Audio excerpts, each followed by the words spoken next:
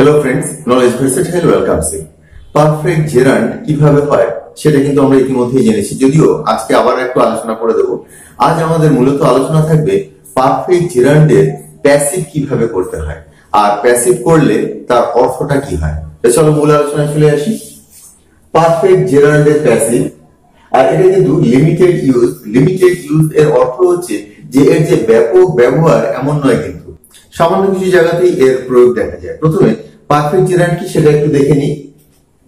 ঘটে যাওয়া কোনো ঘটনায় বক্তা যখন প্রতিক্রিয়া দেয়, খুব ভালো করে লক্ষ্য করো, সেটা পারফেক্ট জেরান্ড হয় ঘটে যাওয়া কোনো ঘটনায় বক্তা যখন প্রতিক্রিয়া দেয়, কোনো ঘটনা ঘটে গেছে। এখানে উল্লেখযোগ্য সেই ঘটনাটা কিন্তু বক্তা নিজেই ঘটিয়েছে। বক্তা কোনো কিছু করে ফেলে অনুশোচনা করছে, কোনো কিছু করে ফেলে আনন্দিত কোনো কিছু করে ফেলে তার ভালো লাগছে, কোনো কিছু করে ফেলে সে নিজেকে পুরস্কৃত মনে করছে, এমন ধরনের সেন্টেন্স গুলোকে আমরা পারফেক্ট জেরান্ডের মধ্যে রাখি। এক্সাম্পল দেখো। হি ডিনাইড সে প্রত্যাখ্যান করেছিল। সে প্রত্যাখ্যান করেছিল কি? হ্যাভিং ইটেন মাই টিফিন আমার টিফিন খেয়ে নিয়েছে। সে আমার টিফিন খেয়ে নিয়েছে, কিন্তু সে সেটাকে প্রত্যাখ্যান করেছে। এক্ষেত্রে বক্তা নিজেই ঘটানো কোনো ঘটনায় যখন প্রতিক্রিয়া দেয়, সেটা সদর্থক হতে পারে, ননর্থক হতে পারে অ্যাফার্মেটিভ হতে পারে নেগেটিভ হতে পারে। তো সেটাই আমরা কিন্তু পারফেক্ট জেরান্ডের মধ্যে রাখব। এক্ষেত্রে হ্যাভিং ইটেন এই পার্টটা কিন্তু আগেই হয়ে গেছে। এবার বক্তা প্রতিক্রিয়া দিচ্ছে যে সে খায়নি। সে খায়নি। He denied he denied having eaten my tiffin আর একটা দেখো। হি রিগ্রেটেড সে দুঃখ প্রকাশ করেছিল। সে দুঃখ প্রকাশ করেছিল এমন কিছুর উপর যে কাজটা সে ইতিমধ্যেই করে ফেলেছে। Having broken the pen he regretted সে দুঃখ প্রকাশ করেছিল কলমটি ভেঙে ফেলে। কলমটি ভেঙে ফেলে, পেনটি ভেঙে ফেলে সে দুঃখ প্রকাশ করেছিল। অর্থাৎ দুঃখ প্রকাশ করার আগেই তার কাজ কিন্তু ঘটানো হয়ে গেছে এবং সে কাজটা সে নিজেই ঘটিয়েছে। যদি সে নিজে না ঘটায়, তখন কিন্তু সেটা প্যাসিভ হয়ে যাবে।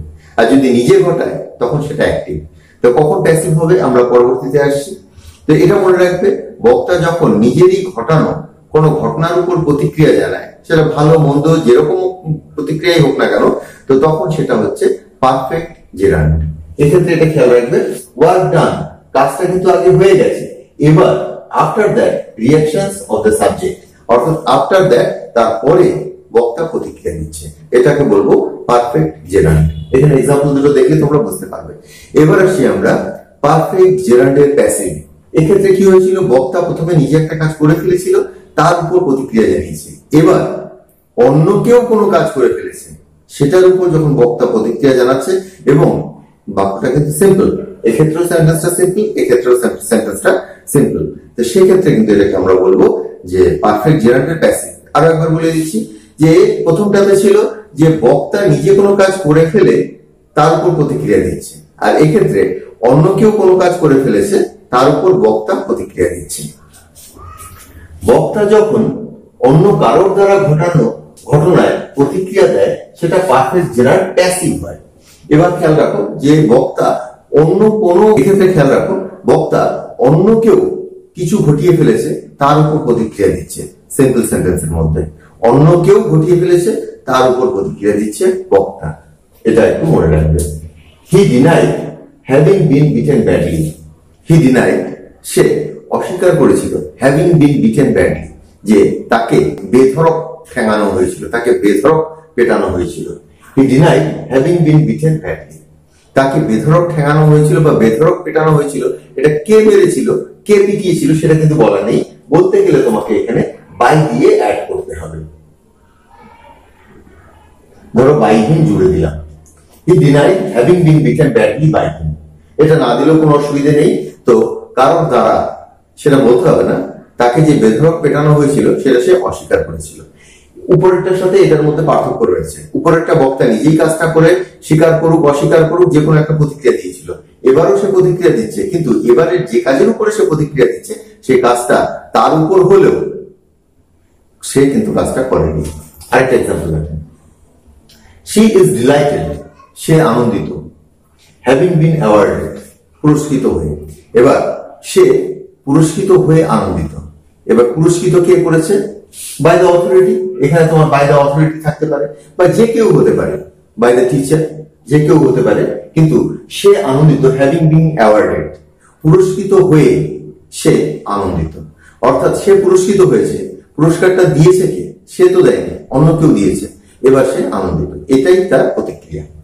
তিন নম্বর এক্সাম্পলটা দেখো আই এম স্যাড আমি দুঃখিত। এটা কোনো কিছুর কারণে তো হয়েছে। যে কারণটার জন্য এটা হয়েছে, সে কারণটা ঘটিয়েছে তৃতীয় কোনো ব্যক্তি। I am sad having been reviewed I am sad having been reviewed আমাকে বকা দেওয়ার জন্য, বকা খাওয়ার জন্য আমি দুঃখিত। Sad having been reviewed having been reviewed এটাই তোমার পারফেক্ট জেরান্ডের প্যাসিভ এবং এখানটা এই বকা কে দিয়েছে সেটা কিন্তু বলার নেই। বাই টিচার আমি এখানে যোগ করতে পারি। বাই দ্য টিচার বা বাই ফাদার ইত্যাদি। I am sad having been reviewed এখানে অন্য কেউ কোনো কাজ করেছে তোমার উপর, সেটার জন্য তুমি যে প্রতিক্রিয়া জানাচ্ছ, সেটা লিখতে গেলে আমাদের এই পারফেক্ট জেরান্ডের প্যাসিভ ব্যবহার করতে হচ্ছে চার নম্বর এক্সাম্পল দেখো। শি ইজ সারপ্রাইজড সে অবাক এবার সে যে অবাক হয়েছে, এর পিছনে কারণ হচ্ছে তার উপর অন্য কোনো ব্যক্তি কোনো কাজ করেছে, তার জন্য সে অবাক হয়ে গেছে। She is surprised having been pointed out having been pointed out চিহ্নিত হয়ে পয়েন্টেড আউট চিহ্নিত। হ্যাভিং বিন পয়েন্টেড আউট অর্থাৎ চিহ্নিত হয়ে সে তো অবাক হয়ে গেছে। অর্থাৎ তাকে যে পয়েন্ট আউট করা হয়েছে, এটাতে সে সারপ্রাইজড হয়ে গেছে, সে অবাক হয়ে গেছে। She is surprised having been pointed out এখানে পয়েন্ট আউটটা কে করেছে সেটা বলে দেওয়া নেই হ্যাভিং বিন পয়েন্টেড আউট মানে চিহ্নিত হয়ে সে সারপ্রাইজড পাঁচ number they accepted having been given a ball they accepted তারা মেনে নিয়েছিল হ্যাভিং বিন গিভেন এ বল যে তাদেরকে একটা বল দেওয়া হয়েছিল। তাদেরকে একটা বল দেওয়া হয়েছিল, সেটা তারা মেনে নিয়েছিল। তারা মেনে নিয়েছিল যে তাদেরকে একটা বল দেওয়া হয়েছিল। এবার বলটা কে দিয়েছে, তার কিন্তু কোনো উল্লেখ নেই। তো এখানে হ্যাভিং বিন গিভেন এ বল একটা বল এখানে দেওয়া হয়েছিল তাদেরকে। ছ নম্বর এক্সাম্পল দেখো হি রিগ্রেটেড সে অনুশোচনা করছে। এবার অনুশোচনা করছে অর্থাৎ তার উপর কোনো নেগেটিভ কাজের প্রভাব এসে পড়েছে। নেগেটিভ কাজটা করেছে তৃতীয় কোনো ব্যক্তি। He regretted having been rejected তাকে কেউ রিজেক্ট করেছে, তাকে কেউ প্রত্যাখ্যান করেছে, সেজন্য সে রিগ্রেটেড সে দুঃখিত, সে এবার অনুশোচনা করছে। হি রিগ্রেটেড সে অনুশোচনা করে হ্যাভিং বিন রিজেক্টেড যে তাকে রিজেক্ট করে দেওয়া হয়েছে। অর্থাৎ প্রত্যাখ্যাত, অর্থাৎ প্রত্যাখ্যিত হয়ে, অর্থাৎ প্রত্যাখ্যিত হয়ে সে এবার অনুশোচনা করছে। এক্ষেত্রে তোমরা মনে রাখবে হ্যাভিং এর সাথে বিন এবং ভার্বের থার্ড ব্যবহার। এর এর ব্যবহার খুব বেশি দেখা যায় না। তোমরা বোর্ডটাকে ভালো করে স্টাডি করো, দেখবে যে পুরো ব্যাপারটা বুঝতে পারবে। তো আজকের আলোচনা এখানে শেষ করছি। পরবর্তী আলোচনায় আবার যোগ দেবো।